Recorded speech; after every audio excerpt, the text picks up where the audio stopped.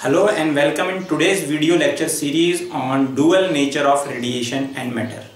जैसा कि आप सभी जानते हैं कि ये एक प्री रेक्यूसाइट क्लास है। प्री रेक्यूसाइट क्लास की हमने दो वीडियो लेक्चर सीरीज़ रखी हैं, उसमें से ये वीडियो उसका पहला पार्ट है।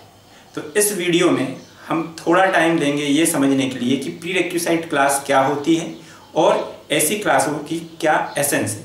तो आते हैं हम सबसे पहले हमारे पहले क्वेश्चन पर कि what is a prerequisite class तो प्री रेक्यूसाइड मतलब होता है ऐसी कोई चीज़ जो एग्जिस्ट करना ज़रूरी होती है ताकि उसके बाद कोई और नई चीज़ एग्जिस्ट कर सके। तो हमारी क्लास में प्री रेक्यूसाइड का मतलब है वो आइडियाज़, कॉन्सेप्ट्स या फिर टॉपिक्स जो आपके दिमाग में पहले से होने चाहिए, जिनकी अंडरस्टैंडिंग आपके दिमाग में क्लियर होनी चाहिए ताकि आप कोई नई चीज़ समझ सके। तो dual nature of radiation and matter को पढ़ने के लिए हमें दो आइडियाज़ की ज़रूरत पड़ेगी जो हमें पहले से मालूम होने चाहिए। वो है रेडिएशन और मैटर तो इन्हीं रेडिएशन और मैटर का जो बेसिक आइडिया है, हम दो पार्ट्स में पढ़ेंगे। पहला पार्ट हमने रखा है क्लासिकल व्यू मतलब कि पुराना व्यू और एक मॉडर्न व्यू जो कि है नया व्यू तो क्लासिकल पार्ट का जो वीडियो लेक्चर है, वो अलग रखा गया है, और मॉडर्न पार्ट का जो वीडियो लेक्चर है, वो अलग रखा गया है। क्लासिकल पार्ट के वीडियो लेक्चर के बाद हम एक क्विज रखते हैं। और मॉडर्न वीडियो लेक्चर के बाद भी हमने एक क्विज को रखा है। इन क्विज का केवल ये मतलब है कि आपकी अंडरस्टैंडिंग लेवल इन टॉपिक्स को लेकर कितनी है। अब अंडरस्टैंडिंग समय के साथ बनती है और रिपीटेटिव स्टडी के साथ बनती है। तो एक दिन में तो डेप्थ आना पॉसिबल नहीं है, लेकिन हम इन वीडियो लेक्चर सीरीज़ और इसके बाद के क्विज से ये इंश्योर करते हैं कि आपके अंदर कोई मिसकंसेप्ट फॉर्मेशन ना हो। अब आते हैं हम हमारे दूसरे क्वेश्चन पे कि what is the essence of prerequisite class तो प्री रेक्यूसाइड क्लास क्यों ज़रूरी है?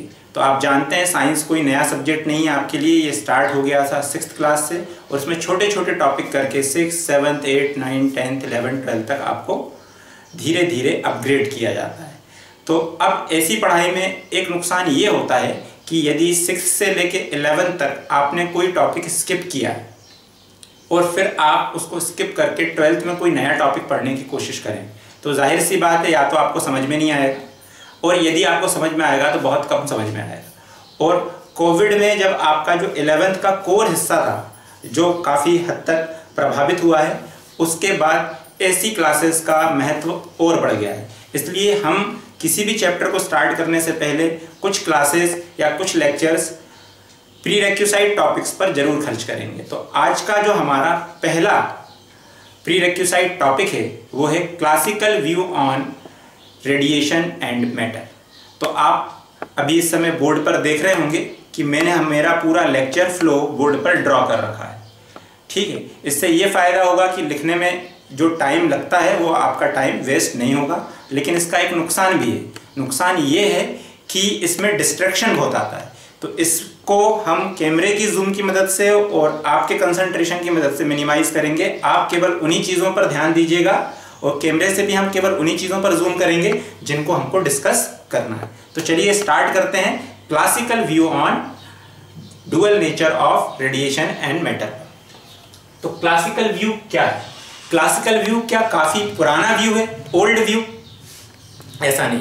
क्लासिकल व्यू का मतलब बस ये है कि इट केम अर्लियर ये सबसे पहले आया।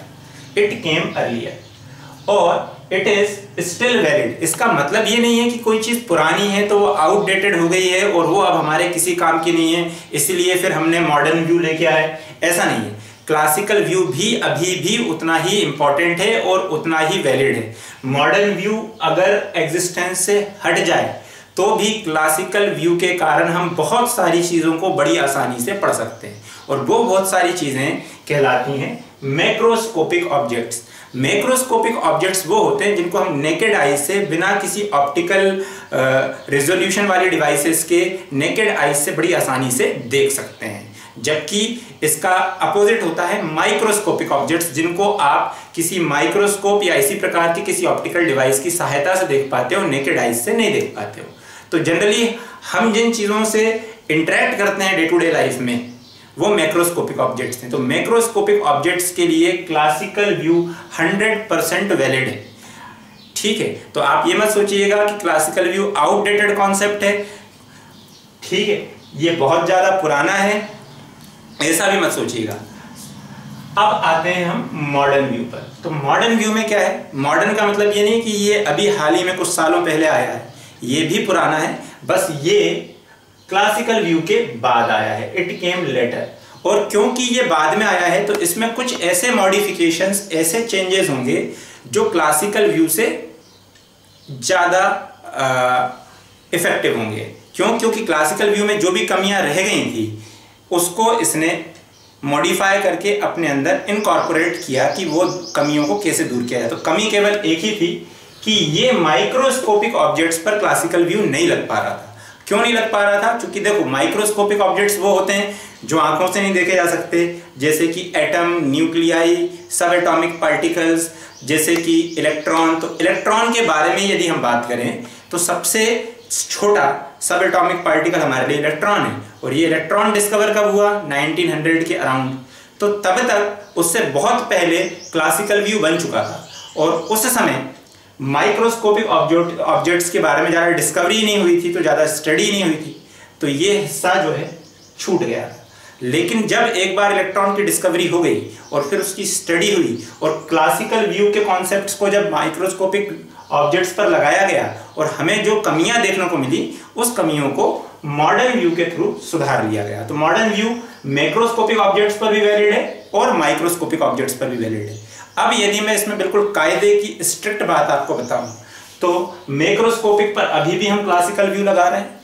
केवल माइक्रोस्कोपिक पर हम मॉडर्न व्यू लगाते हैं। मॉडर्न व्यू को लगा दोनों पर सकते हो, लेकिन लगाते किस पर है? केवल माइक्रोस्कोपिक पर। इस वजह से दोनों ही व्यू दोनों ही कॉन्सेप्ट इंपॉर्टेंट तो आपको समझ में आ गया होगा कि क्लासिकल व्यू का क्या मतलब है और मॉडर्न व्यू का क्या मतलब है। अब इसका हम एक एक करके एनालिसिस करने वाले हैं तो आज की क्लास में हम केवल डिस्कस करने वाले हैं क्लासिकल व्यू तो क्लासिकल व्यू को हम समझें, उससे पहले आप बोर्ड पर देख रहे होंगे, एक वर्ड लिखा है मैंने यूनिवर्स यूनिवर्स वो जगह है जहाँ हम सब रहते हैं, आप, में, सब। यदि मैं आपका पता पूछूँ और मैं अपना पता बताऊँ तो इसमें एक कॉमन चीज़ आखिर में जो आके निकलेगी, वो है यूनिवर्स जैसे कि मैं स्टार्ट करता हूँ अपने घर से, जहाँ अभी ये रिकॉर्डिंग चल रही है।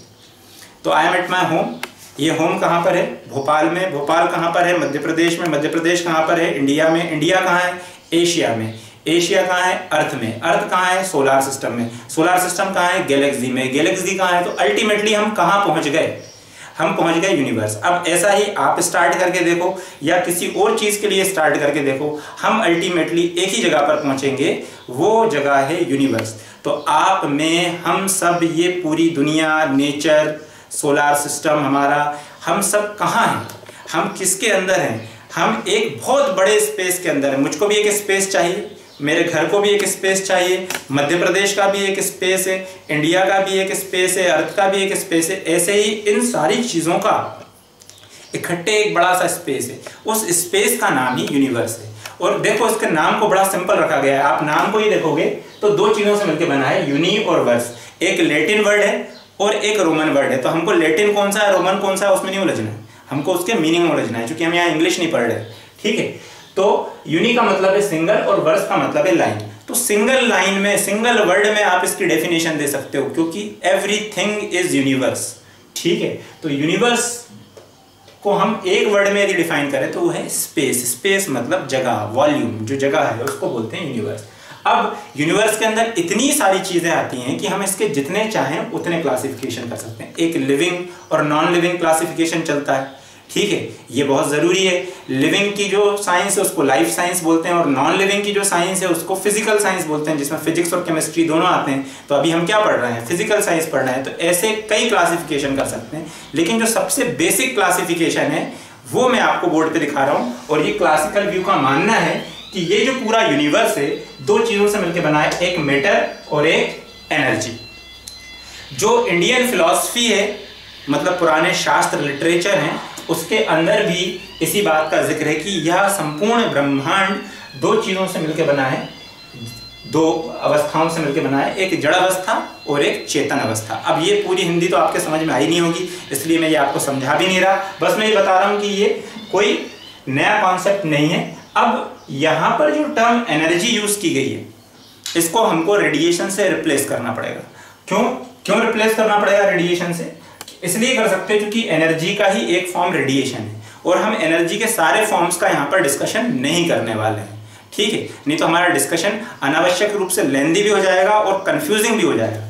ठीक है? तो जो हमारी जितनी समझ है उसके हिसाब से इसलिए ज़रूरी है कि हम इस रेडिएशन मतलब एनर्जी को रिप्लेस कर दें रेडिएशन तो रेडिएशन क्या है? रेडिएशन एनर्जी का ही एक रूप है, ठीक? तो अभी हम डिस्कस करने वाले हैं मैटर और रेडिएशन तो क्लासिकल व्यू ये कहता है कि मैटर एक बहुत अलग चीज़ है और रेडिएशन एक अलग चीज़ है, बावजूद इसके ये एक ही यूनिवर्स में पाए जाते हैं। इसलिए ये दो प्रकार हैं, दो चीज़ें हैं जिनको आप डिस्टिंग्विश कर सकते हो कि भाई ये मैटर है और ये रेडिएशन अब डिस्टिंग्विश कैसे करना? है डिस्टिंग्विश किया जाएगा उनके नेचर के आधार पर। तो जो मैटर का नेचर है, हिंदी में बोलते हैं प्रकृति। तो जो मैटर की प्रकृति है और जो रेडिएशन की प्रकृति, जो नेचर है, वो बहुत अलग अलग है। तो मैटर का नेचर जैसा है, वैसा रेडिएशन का नेचर नहीं है। जैसा रेडिएशन का नेचर है, वैसा मैटर का नेचर नहीं। क्यों? कारण है उनका कंपोजिशन अब वो बने ही अलग अलग चीज़ों से। ठीक है? तो कंपोजिशन अलग अलग है। तो एक का कंपोजिशन है पार्टिकल और एक का कंपोजिशन है वेव ये दो शब्द इस्तेमाल करते हैं हम इनके कंपोजिशन तो मैटर किससे मिलकर बना हुआ है? पार्टिकल से। और रेडिएशन किससे मिलकर बनी हुई है? वेव से। ये टर्म्स हैं, जो आपको ध्यान रखनी है। तो क्लासिकल व्यू कहता है कि यूनिवर्स मैटर और एनर्जी से मिलकर बना है। मैटर और एनर्जी का नेचर अलग अलग है क्योंकि इनका कंपोजिशन अलग अलग है। मैटर का जो कंपोजिशन है, वो पार्टिकल है। और नेचर जो है सॉरी रेडिएशन जो है वेव से मिलकर बनी। तो इसी को इंग्लिश में बोलते हैं मैटर हैज़ पार्टिकल नेचर और रेडिएशन हैज़ वेव नेचर ये तो हो गई यहाँ तक की बात। तो क्लासिकल व्यू आपके दिमाग में बैठ गया, आप अच्छे से दिमाग में बैठे क्लासिकल व्यू कहता है कि यूनिवर्स के दो हिस्से हैं, एक मैटर और एक एनर्जी अब मैटर का पार्टिकल नेचर और एनर्जी या रेडिएशन का वेव नेचर चलिए, अब आगे बढ़ते अब आप बोर्ड पर देखेंगे, आपको बोर्ड पर क्या दिख रहा है? आपको दिख रही है बोर्ड पर कुछ प्रॉपर्टीज़ जिनकी सहायता से हम मैटर और रेडिएशन को डिस्टिंग्विश करने वाले हैं। और जो कुछ भी यहाँ पर लिखा हुआ है, ये सब क्लासिकल व्यू के अंदर आता है और ये सब मैक्रोस्कोपिक ऑब्जेक्ट्स के अंदर अब बस आपको एक चीज़ ध्यान रखनी है कि जब भी मैं मैटर बोलूँगा तो आपको मैटर के साथ पार्टिकल ज़रूर बोलना है। अपने अंदर पार्टिकल ज़रूर बोलिए। और जब भी मैं रेडिएशन बोलूँ तो आप उसके साथ वेव भी ज़रूर बोलें। तो मैटर और पार्टिकल के पास एक प्रॉपर्टी होती है मास हर पार्टिकल चाहे वो छोटा हो, बड़ा हो, उसके पास मास ज़रूर होगा। मैटर के पास एक और प्रॉपर्टी होती है जिसको बोलते हैं स्पेस क्योंकि हर एक मैटर चाहे वो छोटा हो या बड़ा हो, जगह घेरेगा, उसका स्पेस होगा। इसको मैथ्स में बोल सकते हो कि उसका वॉल्यूम होगा। तो मैटर के पास मास होता है और मैटर के पास वॉल्यूम होता है। और रेडिएशन के पास ये दोनों ही चीज़ें नहीं होती हैं।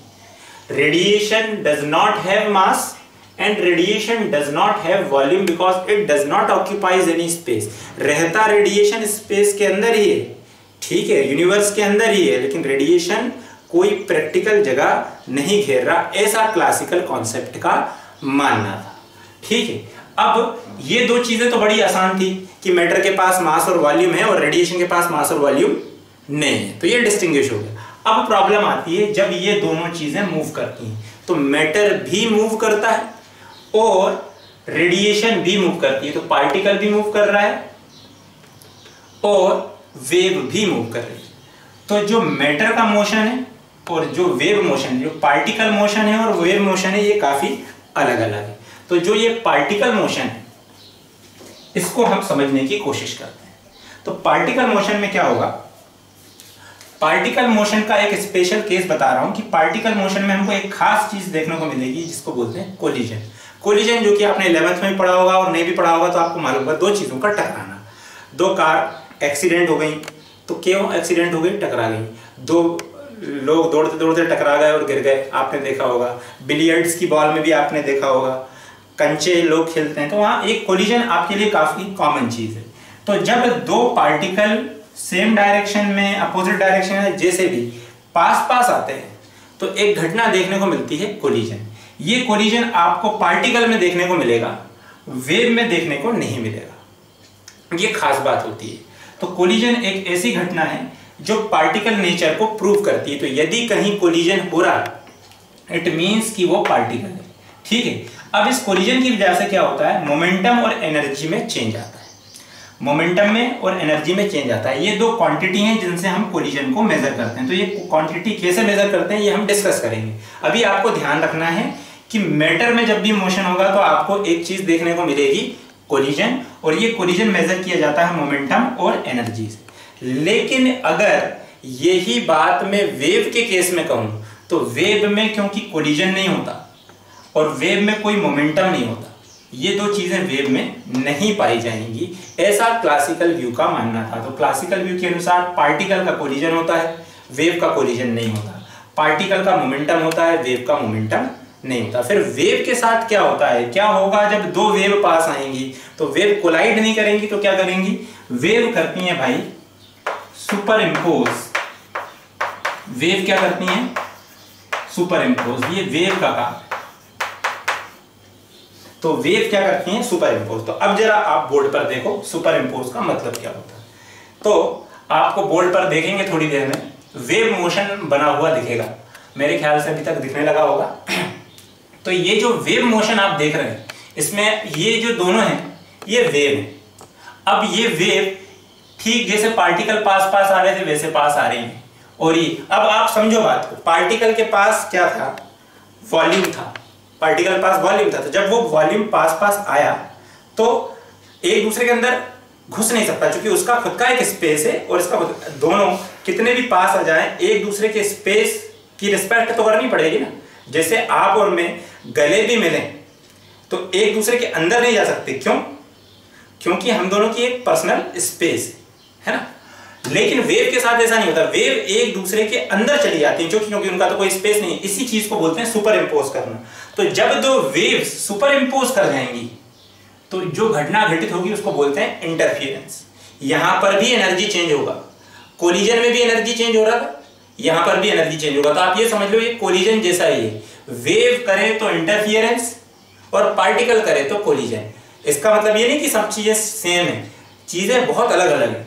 अब एक और केस हम डिस्कस करने वाले हैं कि एक पार्टिकल और एक वेव के साथ क्या होगा? ये वेव है ये पार्टिकल है? तो ये वेव और ये पार्टिकल जब पास पास आएँगे, तब क्या होगा? कोलिजन होगा कि इंटरफेरेंस होगा? तो देखो, ये इसकी स्पेस की रिस्पेक्ट करेगा, अपने हिसाब से वॉल्यूम मेंटेन करके रखेगा और ये अपनी प्रॉपर्टी से चलेगा। तो जिसकी वजह से एक नई चीज़ देखने को मिलती है, जिसको बोलते हैं डिफ्रैक्शन ठीक है? डिफ्रैक्शन इंटरफियरेंस जैसा ही कुछ होता है लेकिन इंटरफियरेंस इसलिए नहीं हो सकता क्योंकि वहाँ पर दो वेव्स चाहिए रहती हैं। और ये डिफ्रेक्शन कुछ कुछ कोलिजन जैसा ही होता है। लेकिन कोलिजन नहीं होता क्योंकि यहाँ पर दो पार्टिकल होने चाहिए। तो ये उन दोनों का मिला जुला प्रोसेस है डिफ्रैक्शन तो एक हो गया कोलिजन एक हो गया इंटरफियरेंस और एक हो गया डिफ्रेक्शन अब आते हैं हम मैटर के ऊपर।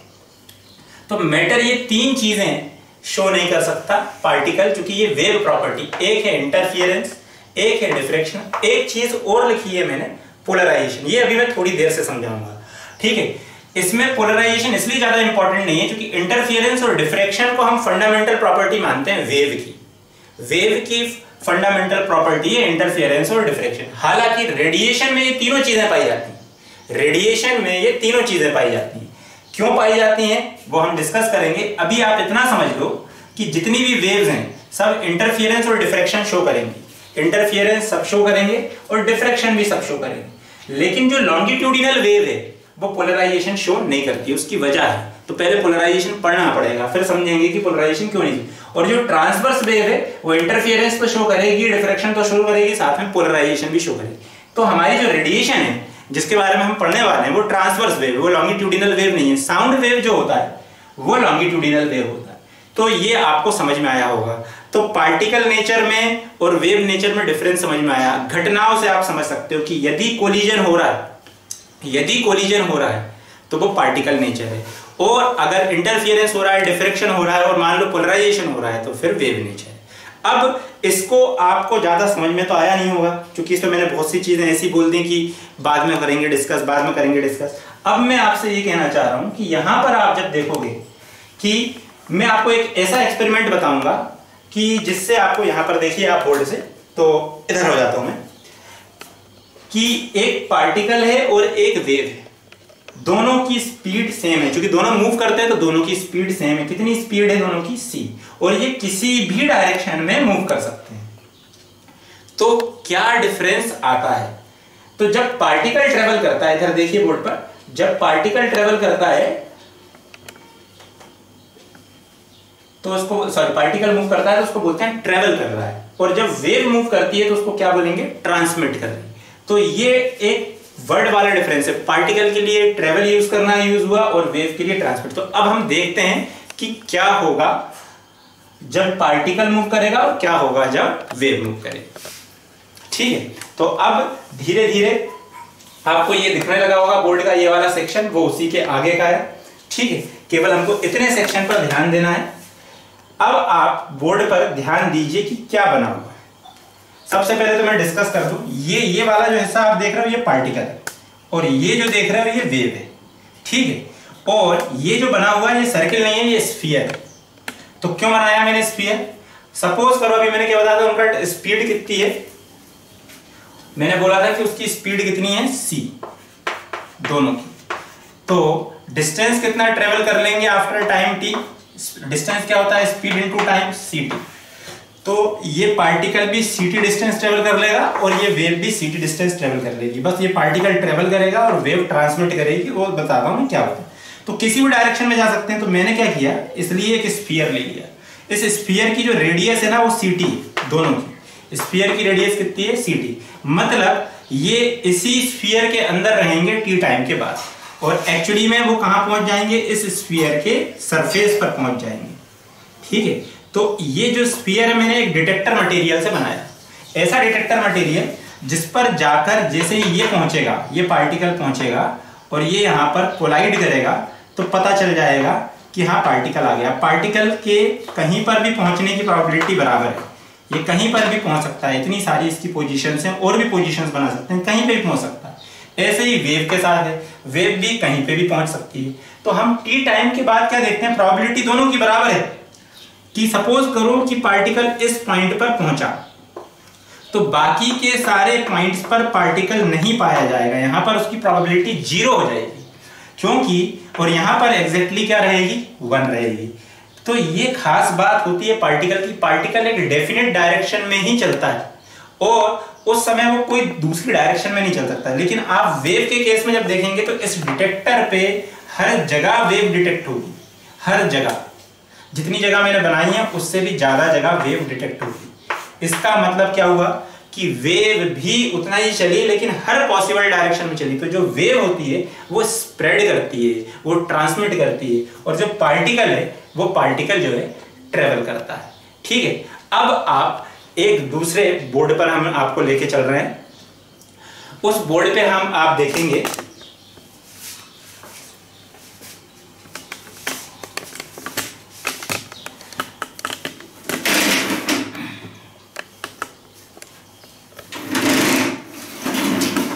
पूरा बोर्ड आपको मेरे ख्याल से साफ़ दिख रहा होगा।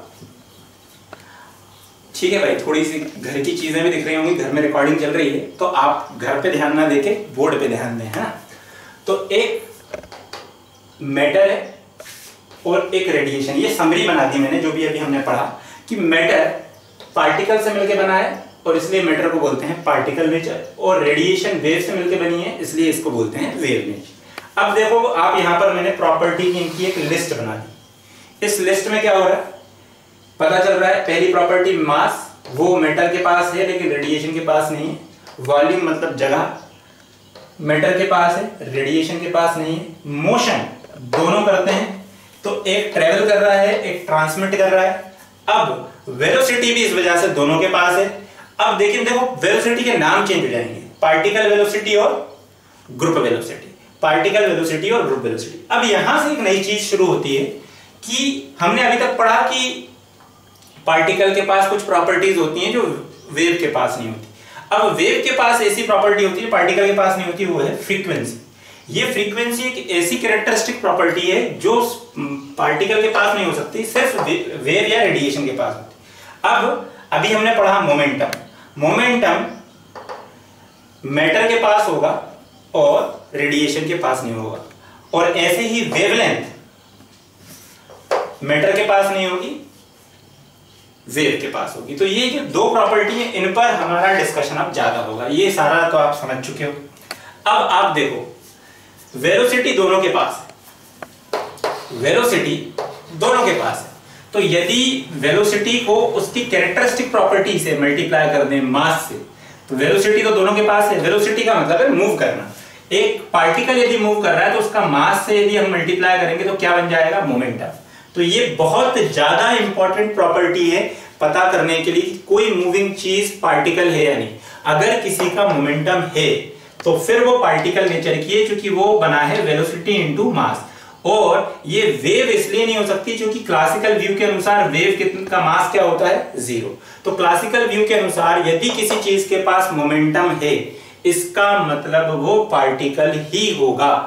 पार्टिकल ही होगा, ये याद रख लो आप। क्योंकि वो momentum velocity multiplied by mass होता है। ऐसे ही अगर इस वेलोसिटी को डिवाइड कर दें फ्रीक्वेंसी से फ्रीक्वेंसी किसके पास है? वेव के पास। तो एक नई प्रॉपर्टी बन जाती है वेवलेंथ ये भी मूविंग बॉडी की है तो यदि किसी चीज़ के पास वेवलेंथ आ रही है तो आप समझ लीजिए उसका वेव नेचर है क्योंकि वो फ्रीक्वेंसी से तो मोमेंटम की कैरेक्टरिस्टिक प्रॉपर्टी हो गई। मोमेंटम की कैरेक्टरिस्टिक प्रॉपर्टी क्या हो गई?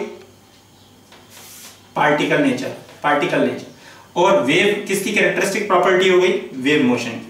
वेवलेंथ सॉरी वेवलेंथ तो मोमेंटम या मास का रिलेशन है पार्टिकल से और वेवलेंथ या फ्रीक्वेंसी का रिलेशन है वेव से. ठीक है, अब दोनों की एनर्जी पर हम डिस्कशन करेंगे. तो एनर्जी के, दोनों की एनर्जी होती है, दोनों की एनर्जी के फॉर्मूले अलग अलग होते हैं. तो देखो, यहाँ पर मास और वेलोसिटी इन दो प्रॉपर्टी से हम एनर्जी बनाएँगे। तो मास और वेलोसिटी से ये एनर्जी का मैंने एक फॉर्मूला बनाया मूविंग बॉडी का हाफ़ एम बी स्क्वायर तो actual formula half M V square है लेकिन यदि मेरे को इसमें मोमेंटम इंट्रोड्यूस करना है तो ये एम बी को मैंने मोमेंटम बना के लिख दिया पी और ये बी तो ये एनर्जी का एक फॉर्मूला आ गया मोमेंटम के थ्रू ऐसे ही वेव के साथ में वेव की जो स्पीड और वेवलेंथ है, उससे हमने एक एनर्जी का फॉर्मूला बना लिया। और इस स्पीड और वेवलेंथ के जो रेशो को हम बाद में फ्रीक्वेंसी से चेंज कर देते हैं। तो दोनों के फॉर्मूले आप देख लीजिए एनर्जी के पार्टिकल वाले का अलग है और वेव वाले का अलग है। तो कहने का मतलब ये है कि हमारे आज के डिस्कशन के सिर्फ़ कहने का मतलब ये है कि क्लासिकल कॉन्सेप्ट ये कहता है कि मैटर और एनर्जी नेचर वाइज काफ़ी अलग है, इसलिए दोनों के पास जो भी चीज़ कॉमन भी होगी, जैसे वेलोसिटी एनर्जी उनके फॉर्मूले एक जैसे नहीं हो सकते। रीजन क्या है? उनकी प्रॉपर्टीज़ अलग अलग है। और पहचान क्या है? पहचान ये है कि मैटर के पास मास और मोमेंटम होगा और रेडिएशन के पास फ्रीक्वेंसी और वेवलेंथ होगी। ये चीज़ आपको ध्यान में रखना है। तो ये हमारी पहली क्लास थी classical view on radiation and matter hope है आपको समझ में आया होगा भाई, अच्छे से समझ में आया होगा। और जो भी चीज़ आपको रह गई, समझ में नहीं आई तो फिर वो आप मेरे को मैसेज कीजिए, मैं उसको फिर से समझा दूँ